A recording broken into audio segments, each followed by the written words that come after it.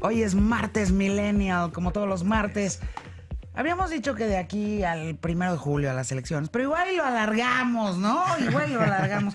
Porque de todas maneras ya están estancándose las campañas, qué cosa. O sea, yo ya me estoy divirtiendo más viendo animalitos en Instagram que viendo las campañas. Pero hoy estuvo bueno, hoy estuvo bueno, la verdad. Hoy estuvo bueno, hubo mucha actividad en, en el terreno electoral. Y por supuesto, un terreno que a ustedes les atañe muchísimo. Primero voy a saludar a mis estudiantes el día de hoy. Eh, lo voy a- ah, pa- por fin ya no están las niñas con las niñas y Ya los no, niños con ya los nos niños. dividimos. porque- Ya no hicimos esa Por. Estaban Que se ponían, se ponían de un lado unos y las otras. Como en la primaria. ay, como en la primaria. En la Rompiendo. Exacto, como si se tuvieran miedo o se fueran a jalar las trenzas, esas cosas.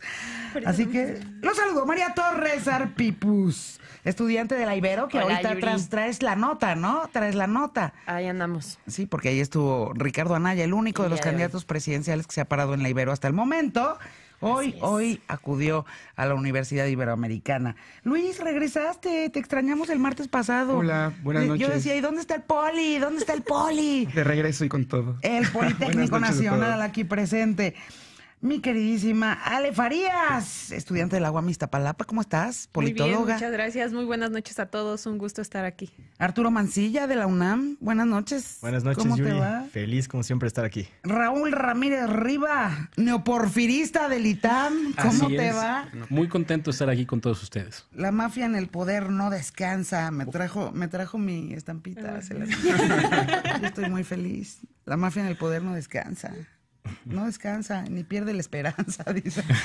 Pronto será la mafia sin poder, ¿o qué? ¿No? La mafia en por el ahí. poder por unos meses más. Oye, Chan, chan, chan. bueno, estuvo finalmente, después de esa eh, muy exitosa campaña en redes sociales que sacaron de No le tengas miedo a la Ibero, Hashtag ¿no? sin miedo a la Ibero. Eh, pues por lo pronto ya un candidato, un candidato tuvo la valentía de pararse. Porque hay, hay, de- hay, hay fantasmas, ¿no? Que vienen desde la elección pasada, este, y uno de ellos es el fantasma de los baños de la Ibero, ¿no? El fantasma de los baños de la Ibero, eh, que por supuesto a Enrique Peña Nieto le costó que como seis puntos porcentuales, ¿no? En las encuestas más o menos.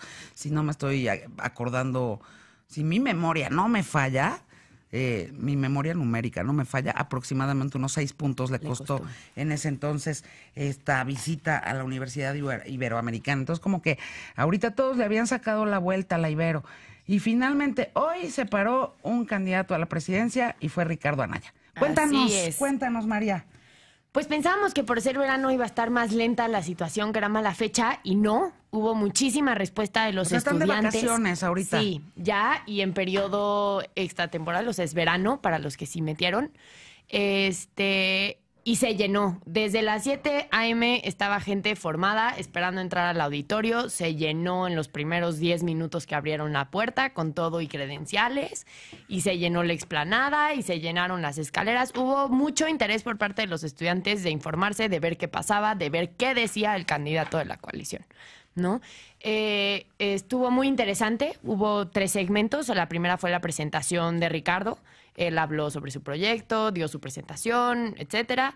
Después fueron 12 preguntas, hubo un segmento de 12 preguntas de estudiantes. público, sí. Exactamente, se hizo con tómbola y todo, fue muy democrática la situación. Fueron varias de los alumnos de, de la, de la universidad, varios de mis compañeros. También hubo universitarios del Tecnológico del Valle de Chalco. Incluso vía este video estuvo presente Ibero Tijuana, Prepa Ibero, el Centro Ernesto Meneses. Entonces hubo representación de toda la comunidad para este, las preguntas con el candidato. Y posteriormente fue la entrevista con Jorge Ramos, también egresado de nuestra casa de estudios. Y pues ahí fue cuando se puso interesante, ¿no? Con las preguntas. Yo le quiero reconocer a la Ibero que eh, yo vi el formato del ITAM, obviamente, y, y ahora vi el de la Ibero, y es increíble ver eh, cómo, cómo hay una pluralidad y una diversidad de personas haciendo preguntas, ¿no? Primero preguntó alguien de la Ibero, luego preguntó alguien de la prepa, que fue además una pregunta excelente. Muy buena. Este, Mi luego prepa. preguntó también este, un, un miembro eh, de la Casa Meneses, me Centro parece que se Ernesto llama, el. Centro Ernesto Meneses. Este, vaya, se, se, se, se sentía inmediata. Ah, la Ibero Tijuana participó, que tiene esta, es parte de la Ibero Ciudad de México. Y pues bueno, se ve ahí una experiencia muy rica. Yo no estoy diciendo que la Elitam no haya sido también bastante fascinante, pero sí se siente muy distinto el evento en el Ibero que en el Elitam. Incluso no lo voy a aceptar tal vez en otro momento. Pero- la, la- yo creo que la autocrítica, este, me da un poquito de envidia, ¿no? O sea, yo sí creo que, o sea, a nosotros no nos pelaron tanto, por ejemplo, no, no hicimos nota nacional. A ver, yo, yo, yo voy a hacer autocrítica al ITAM. O sea, yo también, al igual que Raúl, soy, soy politólogo. Bueno, él es, él es economista y abogado, yo nada más politóloga. Pero yo creo que en el ITAM sí pecamos de soberbios. O sea, sí hay luego una soberbia así intelectual y creemos que somos los más preparados del mundo mundial y hacemos las preguntas más inteligentes y luego terminamos pues hablando solo para nosotros mismos. O sea, sí creo que esa es la crítica que tendría que empezar por hacer el ITAM hacia sí mismo, no hacia su preparación, pero sí a su manera en cómo comunica con el mundo. ¿Coincides? Sí, y, y poder hacer un poco más del- de... Y en el Ibero y en el TEC lo hacen muy diferente. En el TEC le salió muy bonito también todo su pasarela de candidatos, ¿eh? Sí. La verdad. Además, en el, el, el del ITAM fue muy formal, ¿no? O sea, sí, Por fue un eso evento te muy digo, formal. sí. mamones, o sea, es eso, son mamertos. Yo no lo voy a decir. Yo sí, saludos a toda la banda del ITAM, neoporfiristas del mundo, ya saben cuánto los quiero, este, pero la verdad es que creo que sí, luego de eso pecamos. Yo no, porque ya me relajé en la vida, pero, pero la neta es que sí creo que como estudiante, no por ser un poquito más relajado, pierde rigor académico. O sea, y eso creo que luego al ITAM es la patita de la que cojea, eh, ¿no? nada más eso. Pero Fue un bueno, espacio muy plural, muy interesante. Digamos, siguen siendo políticos, entonces sus propuestas no estaban muy aterrizadas o tan aterrizadas como a veces las preguntas este, lo requerían de él. Pero creo que fue un buen espacio, o sea, al parecer hizo un buen papel, gustó. O sea, fue un espacio que hizo bastante. Cuando salió le bastante. gritaban presidente. Es- eso, eso creo que sí fue extraño. O sea, le estaban Sí. gritando presidente, Presidente. presidente, Oye, también hubo, al igual que hace seis años hubo gritos, no más que otros, ¿no? De otro tipo. De Es que otro yo creo que hay dos situaciones a calificar. La primera es la reacción de la gente y la segunda realmente qué se dijo en la entrevista. La primera definitivamente la ganó, hubo muchísima aceptación de la gente, muchísimos estudiantes de la Ibero, que dice muchísimo y como lo hemos platicado por ser la Ibero, por lo que pasó hace seis años y la reacción que hubo con, con Enrique Peña Nieto. Dentro del debate, bueno, de la entrevista, perdón, le fue bien, pero sí hubieron un par de cuestiones que, que han causado mucha polémica. Una, este, la pregunta que, de la que todo el mundo está hablando, que del aborto, que respondió una y otra y otra vez. Estoy a favor de la vida, estoy en contra de la criminalización de la mujer. Una respuesta que nos Es que demuestra... a Ricardo Naya hay que preguntarle como lo intenté yo. Lo intenté nomás, no fue exitoso, pero como lo intenté yo en el debate. ¿Sí o no? Exactamente. Porque si no, no contesta. Exactamente. Si no se va, se va. Y lo siempre. intentó. ¿Eh? Jorge Ramos lo intentó, No, le le, insi- decía, le insistió. ¿a favor o en contra? Es que te estoy diciendo que la vida... Y sí, pues ese es el speech que el PAN predice. ¿no? Sí, pero lo que denota bueno, es quizá- traer tanto al PAN como al PRD Es atrás, decir, no quizá, por eso, quizá por eso lo ha logrado, firme. ¿no? Por no decir si sí o si no. Que eso es algo que mucha gente le ha criticado a Naya. O sea, no dices, estás con un partido de derecha y otro de izquierda y no dices que sí a ciertas cosas y no dices que no a otras. O luego está como AMLO que dice que sí y no a la misma cosa, ¿no? Eso es- Pero, pero, pero ¿sabes qué? De una, de una respuesta muy jurídica, muy de abogado, y le pregunto a Arturo, no criminalizar significa, según yo, jurídicamente, aprobar, porque en cuanto despenalizas el aborto, los médicos pueden realizar este abortos, es lo que sucedió aquí en Los Ciudad de México. Yo sí creo que escondido, sí estaba diciendo, eso no va a ser un tema. Lo estaba diciendo diplomáticamente correcto. Eh, de forma diplomática. Pero el problema es que como es abogado, no le sale. O sea, tienes que decirlo en términos más simples, caray. No lo puedes decir como, como abogado abogado porque nadie más lo va a entender, todos van a creer que te, estás- que te estás contradiciendo. Yo creo más bien que está tomando una postura de, bueno, el PAN es conservador.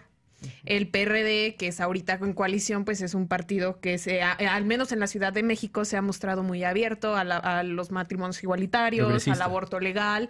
Entonces creo que caería en una contradicción si en este momento dijera no, no estoy a favor del aborto y el PRD sí está a favor del aborto, al menos, repito, en la Ciudad de México. Entonces, ese es un tema muy controversial, Bueno, principalmente en la Ciudad por de México esto. y en el resto del país el PRD, ¿no? O sea, ya, ya no creo que exista un partido de extrema derecha o de extrema izquierda, pero pues cómo juntas... El PES, yo claro creo que sí, cómo, el cómo- PES. cómo juntas el agua y el aceite.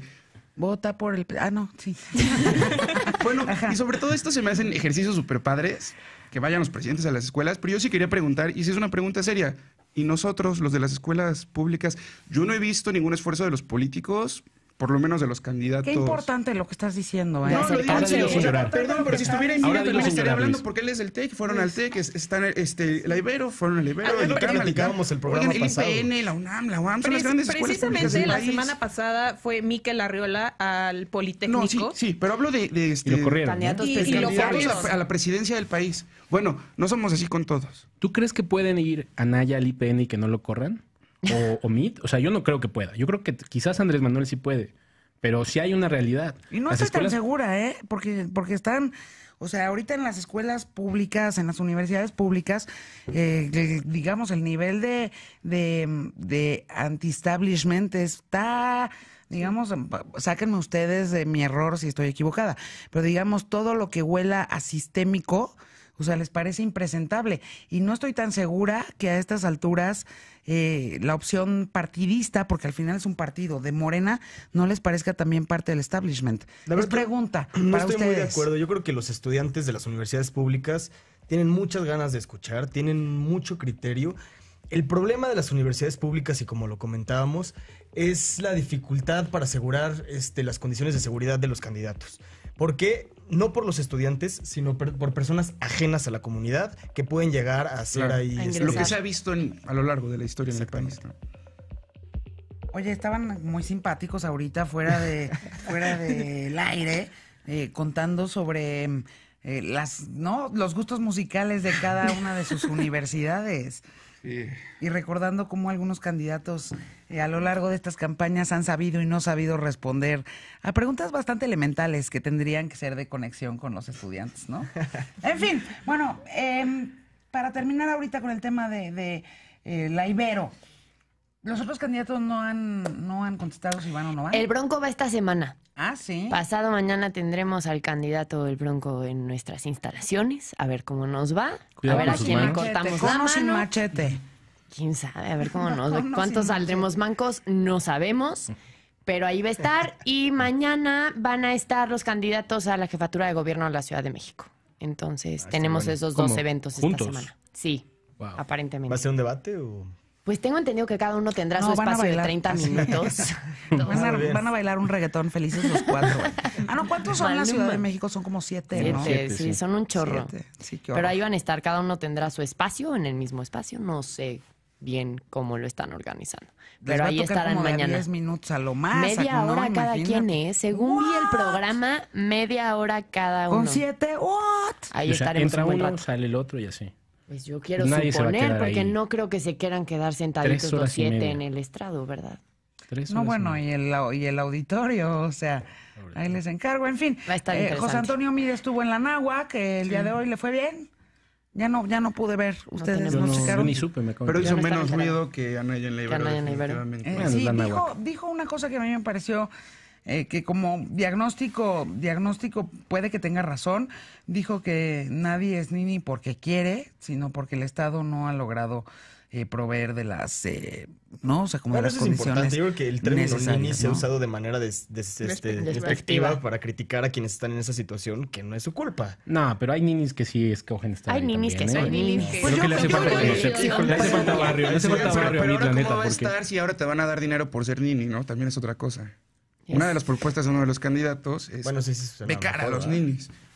Pues sí, hay mercados que van a crecer en López consumo. Obrador, por- se llama O sea, López Obrador. imagínate cómo va a lograr esa Porque Anaya, propuesta. pues, él quiere becar a todo el país. Pero no ha dicho ni de cuánto ni... No, Micheladas pero además, gratis. Anaya me, me sorprende. Ojalá se lo pregunten en el tercer debate. Querida Gaby Marketing, querido Carlos Puch, querido Leonardo Curcio. O sea, el tema de la renta universal fracasó estrepitosamente en Noruega. Por favor, échenle un ojo a eso, porque esa es la propuesta de Ricardo Anaya. principales. Échenle un ojo a, ¿no? Como así, y dijeron, ay, no, sirvió para nada.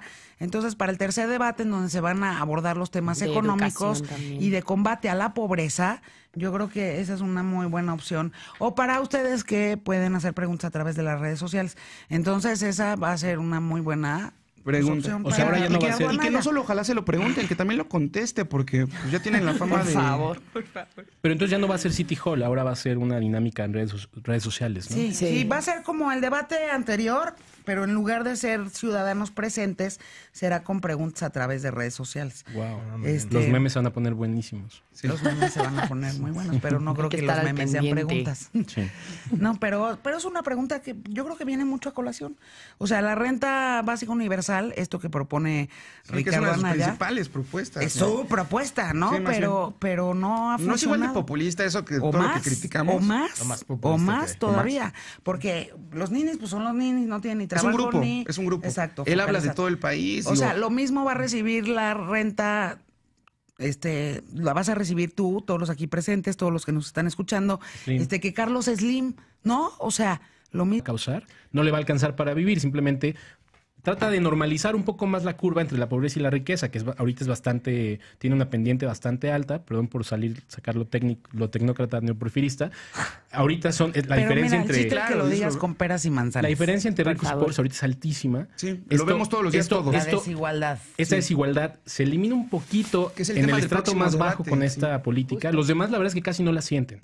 Porque los demás lo que les pasa es que reciben esta renta, pero pagan más impuestos. Reciben esta renta, pero hay más, este, hay una, un- eh, cuesta más la canasta básica, o sea, cuesta más comprar productos. Entonces los demás no la sienten. Los que sí la van a sentir son los que de cualquier manera ya casi no tienen dinero y van a recibir una renta extra, pero van a tener que seguir trabajando porque igual no les alcanza con la pura renta. Lo que sí me preocupa aquí, por ejemplo, hay programas sociales que se dan en los estados de la República y hay gente que vive de ellos, o sea, no tiene que trabajar y es más, entre más hijos tengan, pues más apoyo social vas a recibir y eso se va, a- en eso se basa la gente.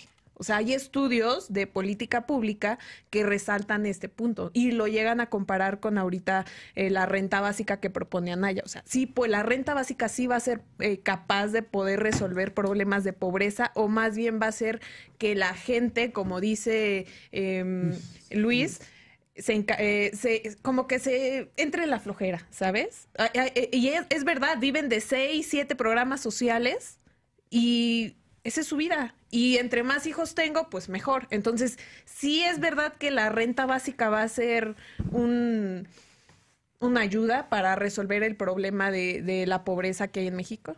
Pues Ricardo Anaya nos tendría que estar respondiendo esto, ¿no? El próximo A ver, debate. háblenle a Naya, ¿no? sonó, sonó muy bien el video que, que subió El- cuando apenas la propuso. El video pero está brutal, pero no dice cuánto nos nadie, va a tocar. nadie se lo creyó, o sea, fue muy populista y nos emocionó cuando Oye, por empezamos ser a ver, mexicano casi suena como por ser creyó. mujer en el Estado de México, ¿no? O ser mexiquense. Bueno, pero a ver, es- o sea, el crecimiento económico al final es lo único que va Ah, a que sacarnos del, del hoyo. O sea, A mí me molesta. O sea, sí, entiendo, Luis. O sea, pero también hay que, o sea, hay que tomar en cuenta que los tres candidatos, hasta cierto grado, están de acuerdo en que es crecimiento económico lo único que arregla el problema, ¿no?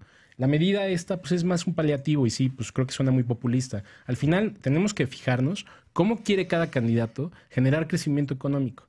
Y ahí es donde creo que quizás en el último debate pudiéramos tratar de encontrar algunas respuestas. Yo te voy a ser sincero, yo no tengo ni idea de qué es lo que propone Andrés Manuel, porque cada vez que le preguntas algo te dice luchar contra la contra la este, Corrupción. corrupción. Y perdón, pero pues, o sea, sí, sí hay una, sí va a crecer el, el país si hay menos corrupción. Pero eso qué, o sea, dímelo, dime, dime más. ¿Y, y cómo Ah, lucha contra la corrupción? Si él es honesto, todos serán honestos, ¿no? Sí, Es eso eso con el ejemplo, por eso favor. no suena bien. Y curiosamente, se me hace interesante que conforme nos vamos acercando al próximo debate, no sé tú qué opinas, Yuriria, de que el tema va a ser este crecimiento económico y Pobreza. Educación. desigualdad. Justamente ahorita está pasando como un momento de, de violencia mercantil, ¿no? Con Estados Unidos y en México. Este, sí, pues eso. Como que le queda bien al debate. Lo Pues que le- sí, ahorita, pero eso fue tema del, eso fue tema del debate anterior, este, el debate del 20 de mayo. sí, sí. Este, pues no nos quisieron contestar, no nos quisieron contestar mucho los candidatos. Este, más o menos, más o menos con generalidades, pero este tampoco con, con Claro. propuestas muy concretas, sobre todo, y, y también entiendo que la- el tema de incertidumbre eh, de, de México respecto a la renegociación del Tratado de Libre Comercio con América del Norte, es decir, con Estados Unidos y con Canadá, eh, pues en ese momento a ninguno de los candidatos, ¿eh? ni siquiera al Bronco, pero tampoco a Andrés Manuel López Obrador, mucho menos a Midi Anaya, este, pues claramente la incertidumbre, pues tampoco les permitía, este, en ese momento eh, fijar posturas más concretas de las que fijaron en el debate en ese momento, Eh, porque pues en esa esa semana Lo que sí supimos es que no había renegociación, que no estaba firmada, pero por lo pronto tenemos el mismo que hemos tenido los últimos 25 años. O sea, no se mueve, está como está. Ahora, después del debate fue cuando empezó el A asunto moverse. este de las, de las eh, de la guerra arancel- arancelaria, ¿no? Pero este, seguramente es un tema que va a revivir en el tercer debate, aunque no sea materia del debate. Claro. ¿Ya vieron la lista de productos que María trae muy presente, por cierto? Hace rato nos las comentó. Algunos. La lista de productos que quizás dejan de existir en el mercado mexicano si se cae el TLC.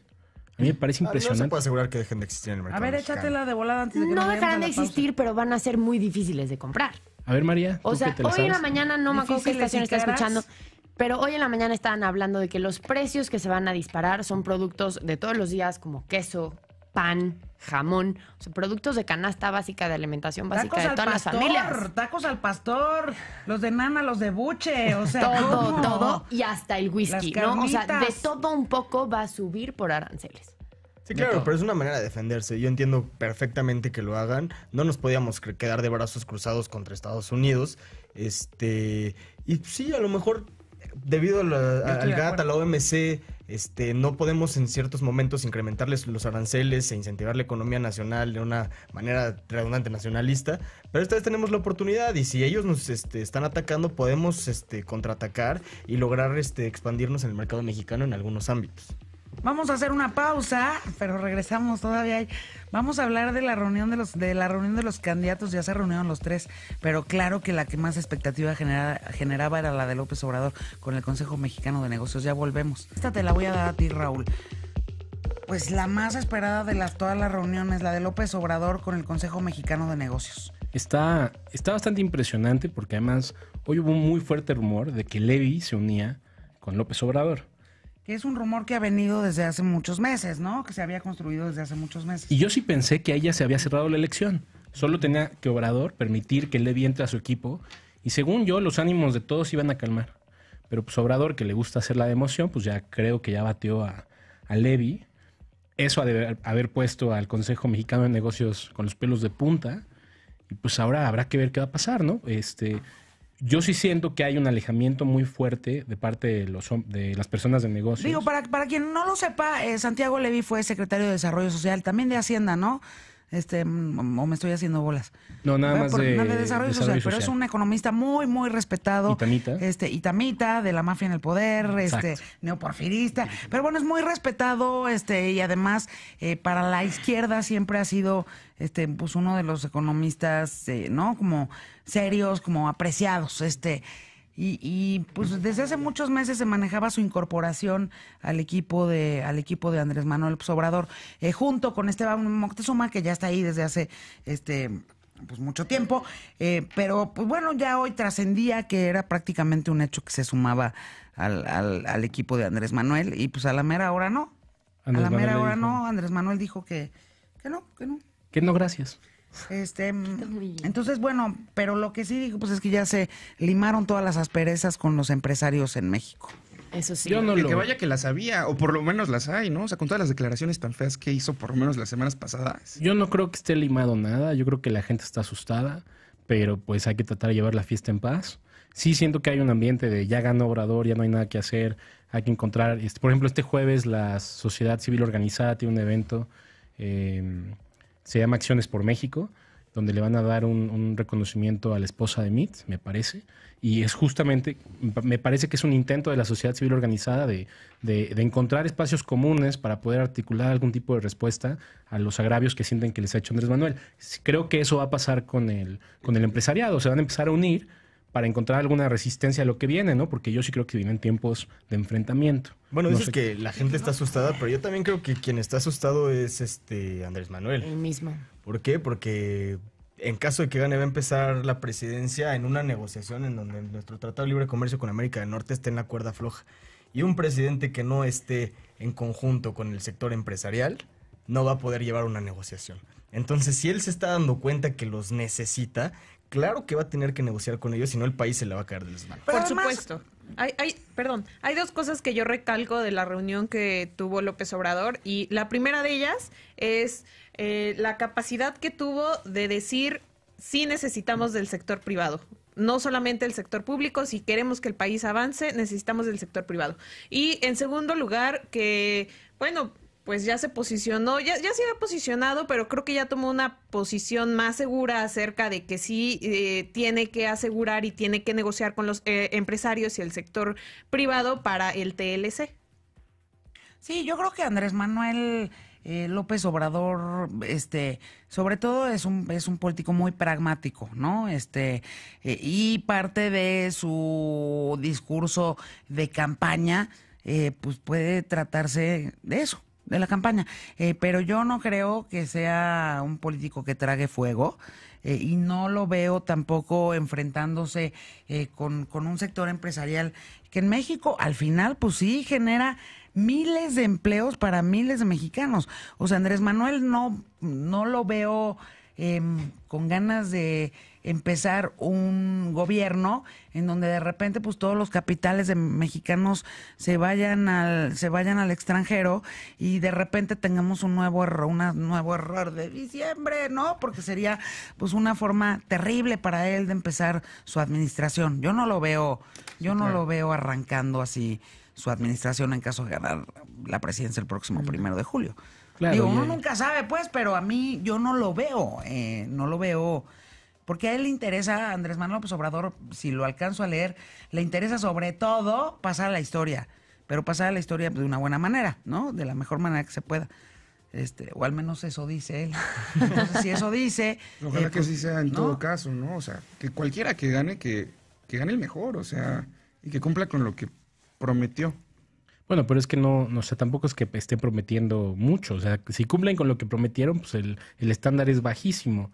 No, Yo- al, pero al yo sí- contrario, si cualquiera de- si cualquier candidato cumple lo que ha prometido, México sería una mega nación, yo creo. Pues han prometido todo, o sea, hasta lo imposible. Yo siento que Oye, más ya bien... con que acabaran con la corrupción, ¿no? Sí, el O sea, primer ya paso. con eso, oye, quisieran respetar el Estado de Derecho, ya. Con eso, o sea, el país No, solito caminaría. El tema Yo es- siento. El tema es cómo no. Pues yo sí estoy de acuerdo con Arturo.